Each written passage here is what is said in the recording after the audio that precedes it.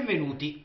Oggi eh, cerchiamo, cerco di eh, parlare di un argomento che mi sta molto a cuore, un argomento di cui si parla tendenzialmente molto, si, si dice molto, ma soprattutto è un argomento, come dire, altamente sfruttato, soprattutto in campo artistico.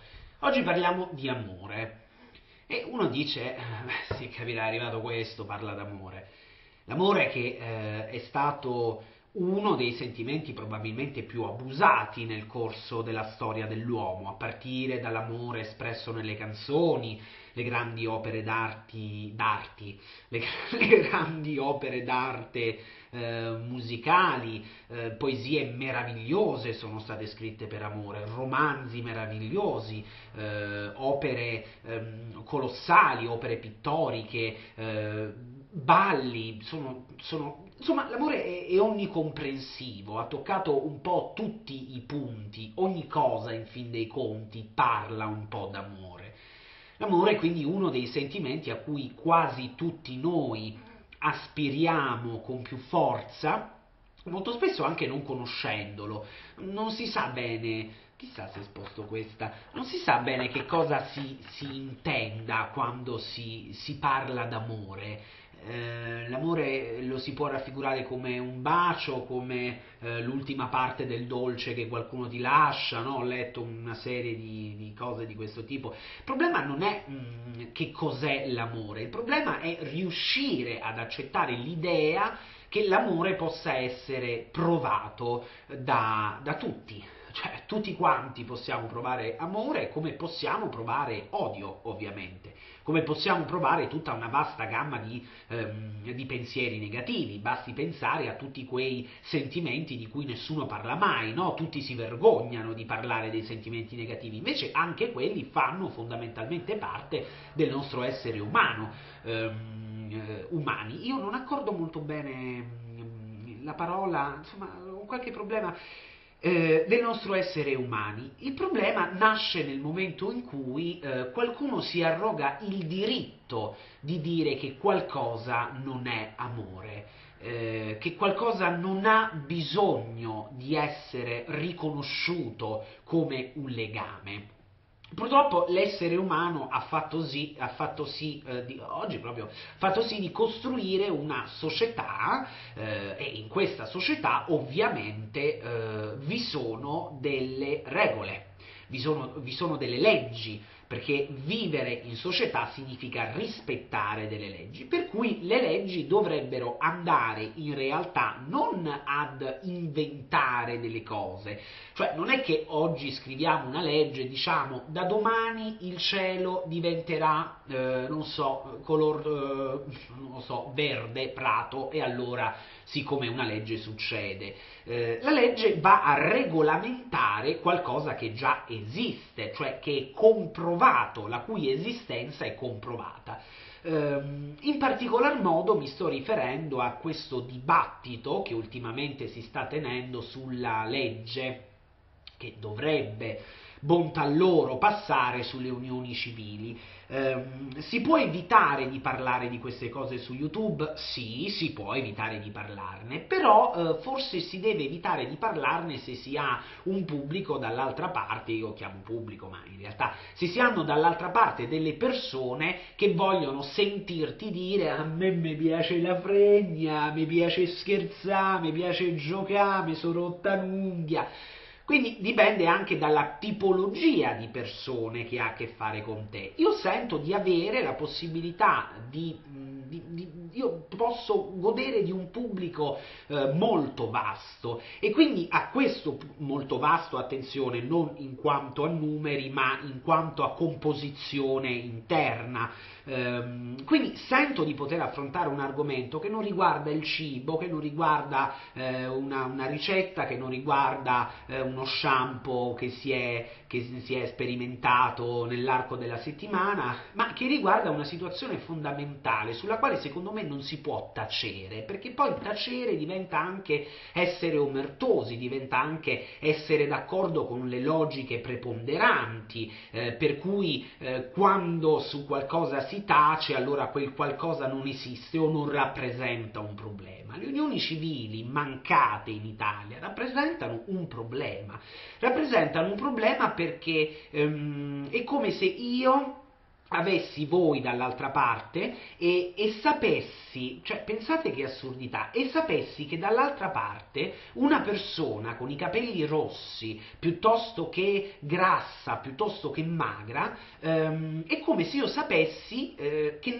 non, in questo momento della sua vita non può godere degli stessi diritti di cui godo io. E quindi una persona dall'altra parte, non so, mettiamo con i capelli rossi, magari non ha il diritto di, per esempio, ne dico solo una, eh, di ereditare ehm, l'attività, eh, non lo so, di ereditare qualcosa dal, dal marito. Dice, ma perché non la posso ereditare? E lo Stato ti dice, non la puoi ereditare perché hai i capelli rossi noi rimarremmo, no? Rimarremmo tutti basiti, tutti quanti inizieremmo a dire, eh, ma che cosa significa, ma che c'entra che hai i capelli rossi? Ecco, la stessa cosa avviene nelle coppie omosessuali, lì dove c'è qualcuno che ti dice, no, tu non puoi eh, ereditare qualcosa, eh, non puoi ehm, fare dei progetti legalmente eh, difesi, perché sei un uomo e sei innamorato di un altro uomo oppure sei una donna e sei innamorato di un'altra donna. Per questo motivo tu non puoi fare qualcosa. Se ci riflettiamo un attimo, è banale la situazione, però secondo me bisogna porci l'accento, dovremmo farlo un po' tutti quanti, io non ho tante persone, non arrivo a tante persone perché i miei numeri sono, sono quelli che sono, però io sento veramente il bisogno di dire, ma davvero noi nel 2016 possiamo mettere su delle battaglie eh, clericali e, e così eh, estremiste che dicono no ad un diritto? Diritto e fondamentalmente ad una essenza, cioè come se domani qualcuno iniziasse a manifestare perché non si può più essere biondi o perché i biondi non possono fare dei progetti familiari, per esempio. Oppure quelli troppo alti, dice no, tu sei troppo alto, attenzione perché no, l'eredità tu non puoi averla. Cioè, ma come? Ma io cioè, sono fatto così? Eh no, no, no, no, no, eh, dovevi pensarci prima di essere così alto. Dice, come? Temo che si possa andare verso... Temo. Si è andati verso questa deriva. Vediamo un po' i minuti qui quanti sono, perché ecco, sono già sette minuti. Stoppete dicevamo, eh, si sta andando verso, si è già arrivati verso questa deriva oscena. Io credo che sia importante invece lanciare dei messaggi. Anche il fatto della difesa tradizionale, no? la difesa tradizionale, ok, ma la difesa della famiglia tradizionale, è come se si facesse finta di non sapere che un omosessuale o una lesbica nascono, cioè hanno una mamma, hanno un papà, per forza di cose, e nascono in una famiglia tradizionale. Quindi la famiglia tradizionale che si vuole difendere è anche il luogo da cui nascono persone omosessuali, che però a loro volta una famiglia non possono crearsela. Questo è veramente diabolico, io credo che ci sia del, dell'insano in questo, cioè io non credo eh, né a Dio, quindi né tantomeno di conseguenza al diavolo ovviamente, però se davvero il diavolo esistesse, secondo me lo zampino suo è questa, questa è un'idea diabolica, cioè tu non puoi esistere, attenzione alle parole, tu non puoi esistere come persona, come coppia, non come persona, perché fino a lì, a, ai livelli della Russia ancora non ci siamo, ma, ma tu non puoi esistere come coppia perché entrambi avete un pisello o, non so, avete una vagina. Uno dice, ma come non possiamo esistere? Esistiamo, cioè, e qui torniamo al discorso della legge, no? La legge non è che deve inventare cose che non ci sono, la legge deve regolamentare cose già esistenti, cioè dati di fatto, ovviamente che non vanno ad inficiare nessuno, anche, non so, lo, lo stupro è un dato di fatto, ma cioè, nel senso, accade, tremendamente e terribilmente. Questo non vuol dire che la legge debba scrivere, ok, visto che accade c'è. Ma nelle cose positive, cioè dove non si lede nessun altro e dove c'è il raggiungimento della propria personale felicità, che per alcuni è in una famiglia, per altri magari è nello stare da soli, però vogliamo dare l'opportunità a due persone di poter essere una famiglia anche legalmente o quello che costruiscono nell'arco di una vita deve andare perduto perché hanno lo stesso sesso, perché entrambi hanno, entrambe hanno le tette o entrambi hanno il ciondolo. Cioè, questa è una cosa molto, molto preoccupante. Io ho sentito tantissime eh, dichiarazioni in merito di una, di una volgarità, di una, di una, bassezza, di una pochezza eh, veramente veramente sconcertanti. Spesso si tira in ballo, per esempio, la religione. Un'altra cosa di cui bisogna tenere, diciamo, a, freno la lingua e, e, questa faccenda della religione. Punto primo perché mh, la religione è, è stata, mh, la figura di Cristo è stata, ammesso che bla bla bla bla bla bla, sapete come la penso, è stata molto fraintesa sotto tutti i punti di vista. Cristo se la faceva con le puttane, poi se la faceva eh, con i lebrosi, cioè Cristo era uno che non aveva paura e ve lo devo insegnare io che non sono cattolico, che Cristo non aveva paura del diverso, degli altri delle altre abitudini, voi che cosa state tentando. Ma poi anche questo discorso mh, mm, eh, della famiglia tradizionale. Non è tradizionale, è semplicemente più diffusa, ma non è tradizionale, cioè, nel senso non è che i mori sono più diffusi, allora i rossi che sono meno diffusi non sono tradizionali, quindi non esistono, cioè esistono mori e rossi. O, o no? ho sempre il terrore che si spenga. Quindi Ecco, l'ultima cosa, se, se, mi posso permettere, che voglio dire, qualcuno dirà questo è un video inutile, potrebbe anche darsi, potrebbe anche essere un video inutile. Io quello che ci tengo a dire è che secondo me è arrivato un momento in cui non ci si può più nascondere dietro un dito. Vedete, la gravità di alcuni fatti che accadono, non ultima la ragazzina, poi noi qui su YouTube sembra sempre che non accada niente, no? Sembra sempre che si stia tutti a mangiare continuamente, a provare i biscotti nuovi della divella, a fare le unghie unghie, gli sbalti e trick e ballacche, come diceva il, l'Orlando furioso di un tempo. In realtà forse bisognerebbe anche utilizzare questo grande mezzo che noi abbiamo per cercare di eh, rapportarci alle persone con le quali abbiamo a che fare o che capitano per sbaglio. Io voglio fare a quelle famose famiglie tradizionali anche una domanda, che è una domanda per me retorica, perché la risposta io già la so, quindi non ne ammetto altre e, e mi rendo conto di essere un po' chiuso. Ma queste persone che hanno dei figli, come si fa in nome della difesa dei propri figli ad escludere qualcosa che i loro figli potrebbero essere? Cioè, gli omosessuali, le lesbiche, i gay, i trans, quello è un discorso di cui nemmeno vado ad aprire la porta su quello che devono subire i transessuali per poter vivere, ai quali non permettono nemmeno di affittare un appartamento, ma questo togliamo questo discorso. Ma un gay e una lesbica, ok? La cosa più, più semplice, l'espressione più semplice di un mondo ben più complesso, eh, sono dei figli fanno parte di una famiglia, sono nati in una famiglia. E quindi di conseguenza questo vuol dire che voler proteggere i propri bambini va proprio nella direzione di un'apertura legale nei confronti delle unioni civili. Cioè se tu vuoi proteggere tuo figlio, allora devi fare in modo che un domani, a prescindere dal suo orientamento sessuale, tuo figlio possa avere dei diritti, possa sentirsi realizzato, possa esistere nel suo paese di nascita e non debba essere costretto a fare le valigie e ad andare via o non debba essere costretto, come quella ragazzina, l'avete sentito sicuramente, vittima di bullismo che a 12 anni si è lanciata dalla finestra e ha lasciato un messaggio con su scritto sarete contenti ai suoi amici, amici, ai suoi compagni di scuola, vessata continuamente. Quanti omosessuali si suicidano? Quanti eterosessuali si suicidano per atti di bullismo? Quando qualcuno per strada passa e noi lo apostrofiamo, balena, eh, ricchione, eh, guarda questa quanto è brutta, guarda questa quanto è grassa, che schifo, che brutta, che merda.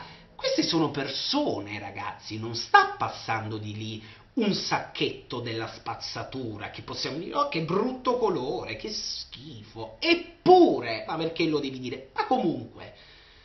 Quindi queste persone che si suicidano, cioè arrivano, ma capiamo un attimo l'assurdità, arrivano a volersi togliere la vita perché la vita è diventata loro insostenibile.